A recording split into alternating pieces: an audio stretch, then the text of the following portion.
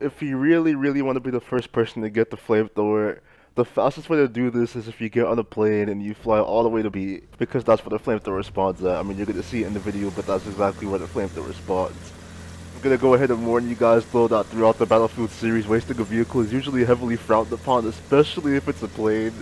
So you're probably gonna get some hate for doing that, but to be honest, this is just a beta anyway, and you want to use that flamethrower, and if you want to be the first person to get the flamethrower, this is how you're going to do that. An objective done. The good thing about using the plane to get to the flamethrower is that no matter which side you spawn on, you could always get there first. Now, there's the Ottomans and there's the UK side. The Ottomans spawned a lot closer to B because they spawned basically right behind A, but the UK side spawns basically all the way at G, and they're all the way across the map from where the flamethrower is at. But if you get on that plane, even if you're on the UK side, you can still get there in time. And to prove that you can, I'm gonna show you. I'm gonna show you how it looks from both sides, getting the flamethrower with the plane tactic.